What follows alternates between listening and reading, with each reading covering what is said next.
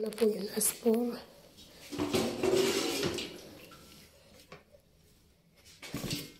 lalagyan na, na natin ng sauce. Ito po ang sauce niya. Yan po. Magium po yan. Tapos linagyan ng baharat, lemon. Linagyan po ng kalamansi. At pangpalasa dito sa, sa mga Arabo.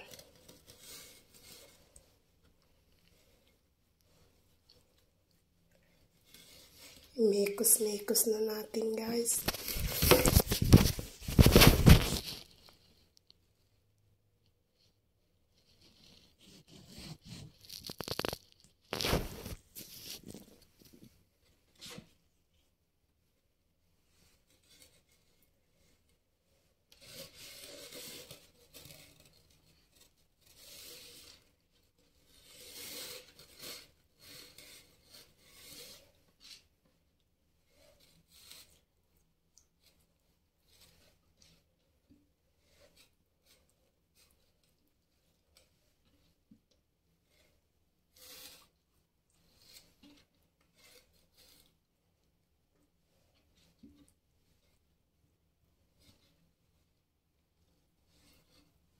Ano